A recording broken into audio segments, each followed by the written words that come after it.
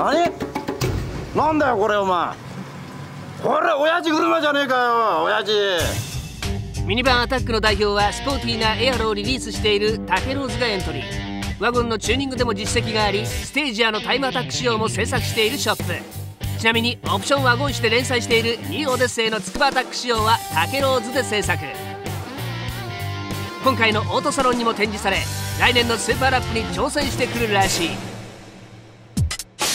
今回用意したマシンはオデッセイをベースにシャコタンエアロ台形ホイールでバリッと武装。ある意味ミニバンっぽくない。エンジンは GTR のルマンタービン装着で280馬力をマーク。ミッションはオートマながら全てのシートがフルバケというからびっくり。ごついロールバー装着でやる気モード満点だ。ドリキン親父の愛車じゃねえのかこれ。お前。そんな親父の車でお前スタイヤなんかかせんなよお前。見てみろよこれ。お前こんなポンコツな車お前これ。大体大体シートポジションが高いだろこれお前。うるさいラーマンほっといて。走りは何気に悪くない。意外と高タイム出るかも。こんなのお前ゴルフに行く車だろ本当に。おいなんだよこれお前。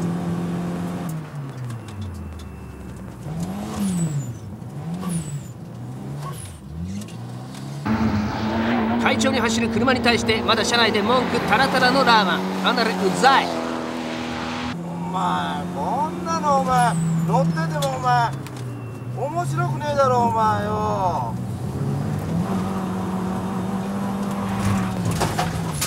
めちゃめちゃな走り方でもなんと10秒台をマーク。ミニバン侮れずそういう感じですよね。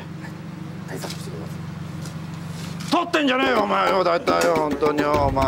お前大体なお前俺がお前真面目なコメントしてるところを取るなっつうの大体よお前。キャラが崩れるだろボケ本当に。ふざけんな本当によ。2台目のミニバンはアキラが担当。エスティマなんで、えーエスティマなりに走りたいと思います、まあ、あのー多分速いと思うんで、サロンの展示や全試乗会では必ずと言っていいほどエントリーしてくるトップライン。元ブリッツのスタッフが在籍しているだけあってモノトーンターボ仕様などミニバンの過激なチューニングもお手の物だ。走れるミニバンを実現するために自社のエアロパーツもしっかり空力を考えて作ってあるところがミソ。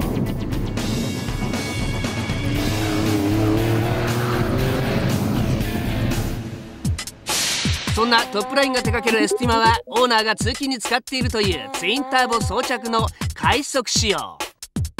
その気になればノーマルの GTR もかもれるほどの実力で必要以上の追加メーターはコンソールにすっきりと収納されている。重いマシンを確実に制動させるための台形キャリパーももちろんしっかり装備。レバーは上げてシートが動かなくなっちゃった。行こう、このまま行こう、よし。実は結構適当なアキラ。ドライブ気分でいってらっしゃい。さっきのラーマンと同じくミニバンオートマのアタックはちとコツがいるみたい。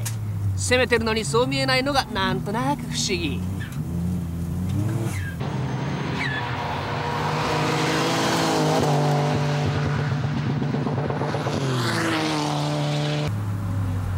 さて横転の怖さと格闘しながらのタイムは？なんと2台揃っての10秒台をマークやっぱりね、サーキット走行長くすると、えーオートマチックはどうしても悲鳴を上げてしまって、もう前に進んでいかなくなってしまうのはちょっと、うん、もったいないかなって感じですね。